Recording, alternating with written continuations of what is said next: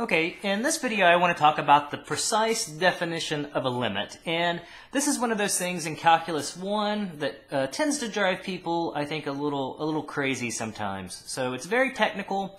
I think at this point, you know, in a class, a, a lot of you may have an intuitive idea of what a limit is but this tries to really make things precise. So a couple remarks here. I'm not going to actually use this uh, definition uh, in this video to prove any examples. I will definitely uh, use this definition I'm about to show you to, to work out some, some examples in a different video.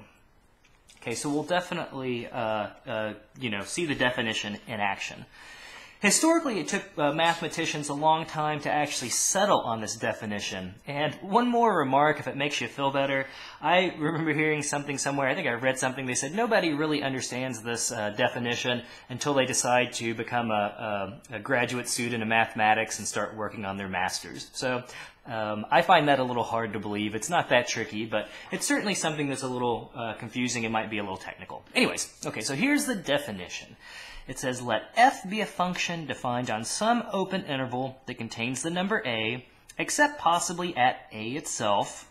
Then we say the limit of f of x as x approaches a is L, and we write, you know, this notation, I'm sure you've seen this, the limit as x approaches a of f of x equals L. Okay, here's the technical part that kind of bothers people. If for every number epsilon greater than 0, there's a number delta such that if the absolute value of x minus a is greater than 0 and less than delta, then the absolute value of the quantity f of x minus L is less than epsilon. What the heck does that last part mean? Okay, so again, intuitively, let's take a quick little example. Right, so here's my function f of x. What this definition is trying, the, the stuff at the bottom, it's trying to um, it's trying to formalize the notion of closeness, of being close to something. And we'll talk about these absolute value inequalities in just a second. That's all it's saying. It, this stuff at the bottom says, hey, if you've got a number close to a, then uh, the value of the function should be close to L. Okay, that's all it's saying. So let's look at this example. Okay, so so in this case, right, as we get closer, if we take a value closer and closer and closer to 7, closer, whether we come from the left or the right, it says the function takes values closer and closer and closer to the y value of 4. So again, it said that it didn't have to be defined at a itself. You know, in my case, this is my a value, it's 7. And notice the function, I put an open circle there. It could be filled in, it doesn't have to be. And my, my limiting value here is 4. So we have the limit as x approaches a, which in this case is 7, of f of x that equals 4. Okay, I'm sure you've, you, you know, at this point, if you're, if you're dealing with the definition, I'm sure you've seen um, this notation and, and have seen it, the, seen uh, finding limits from graphs. So, okay. So again, again, all that definition to me is saying, it says, if you take a number close to A, you'll have that f of x has a value that is close to L. Again, right, if we take a value close to A, close to 7, right, so maybe I take some little open interval here. I take some numbers close close to 7. Well, you know, if you look at, okay, so if I follow up here, and if I follow up here, if I take numbers in this little interval, you know, if my graph is relatively correct, if I take numbers that are close, that are close to A, so I'm taking numbers in this little open interval, I'm getting values on the y-axis that are, you know, relatively, again, close. We haven't made close precise, but you're getting values that are, that are going to be somewhat near the limiting value, in this case, of 4. Okay, so that's the idea. Take a number close to 7, you'll get some number, hey, you'll get some number on the y-axis that's relatively close to 4. That's, that's all we're trying to do. Okay, that's all we're trying to do. It says if you take a number close to a, you're going to have a value that's close to L. So let's look at just a random absolute value inequality. Let's, let's think about this, um, this inequality the absolute value of x minus 3 less than 0.01.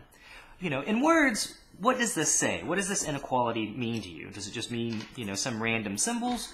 To me, I can put it in words, but let's look about uh, at solving it real quick. So if you recall to solve this type of absolute value inequality,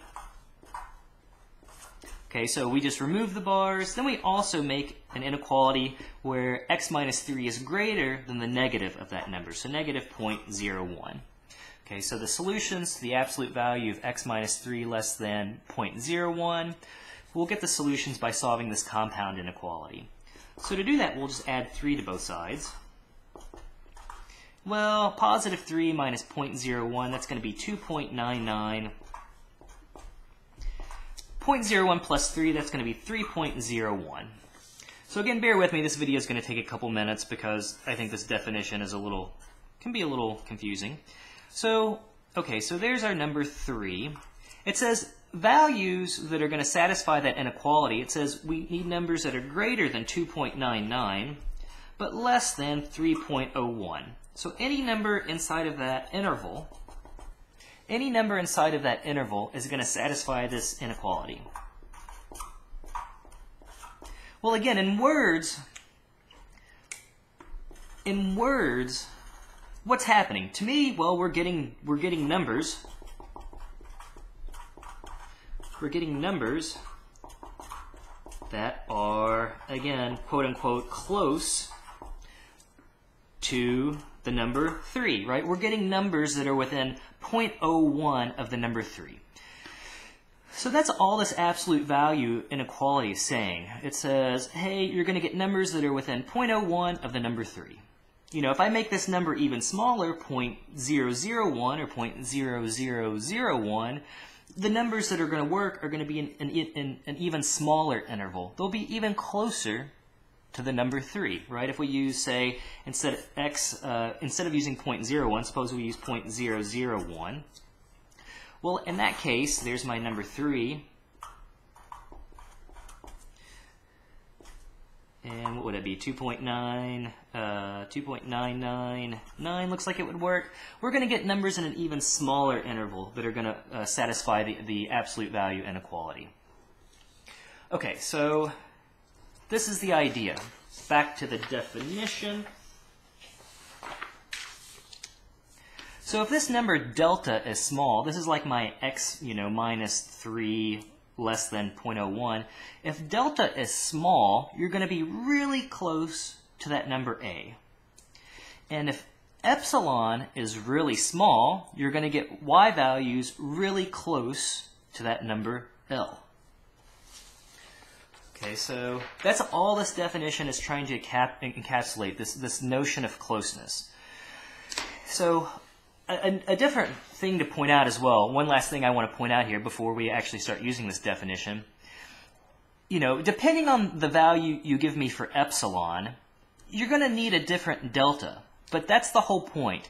You, you specify this epsilon. You tell me how close, you tell me how close you want me to be on the y-axis, and I'll tell you how close you need to be on the x-axis. And if you want me to be really close, maybe I've got to find a really small delta, but the point is, you, you tell me how close you want me to be, I can always find some interval that works. If that happens, then we say the limit exists. So again, intuitively, if epsilon is a little bit bigger, I've got a little more wiggle room on the y-axis, which means around my a value, again, I'm going to have a little more wiggle room as well. Okay, I can probably take a larger interval. If I want my epsilon to be a really teeny tiny number, which means, again, I want to be really close. Okay, so maybe this is the value L plus epsilon. And this is going to be the y value L minus epsilon. Well, now I'm going to need an interval that's smaller. I'm going to have to be, intuitively, most of the time, you're going to have to be closer, right? If you want me to be close on the y, uh, if my, my uh, range of numbers that work on the y-axis is, is small, you're probably going to need a smaller interval around a. So that's all that this definition is trying to say. It's trying to encapsulate this notion of closeness. That's all it's doing. So again, if you got through this video and it made perfect sense to you, hey, I am super impressed with myself. I would be shocked if many people got it on a first watch. But again, just think about this notion of closeness and what limits mean intuitively to you. And that's all those uh, absolute value inequalities are talking about. So um, in a couple videos and another video, I'm going to prove um, the limit as x approaches 4 of 2x plus 3 equals 11 using the definition. I'm going to do another one with quadratics. The quadratics, you know, the, the linear ones are going to look like... Um, it's just going to feel like you're switching out steps. It's going to seem mechanical. The quadratic ones, you know, that one's going to be a little, uh, going to require a little bit more thought. Okay, so, all right, so um, again, I'm getting a lot of great comments out there. If this video helped you, I would hope that you'll take a moment to maybe go over to Patreon and check me out and maybe, uh, you know, be a supporter. You can support for as little as a dollar a month. You know, that's like three pennies. So if you can imagine poor old Patrick sitting there on the street, wouldn't you throw three pennies at him every day and imagine how much fun that would be? So, all right, um, I hope this video makes some sense. And again, in the next one, we'll jump on to actually doing some concrete examples.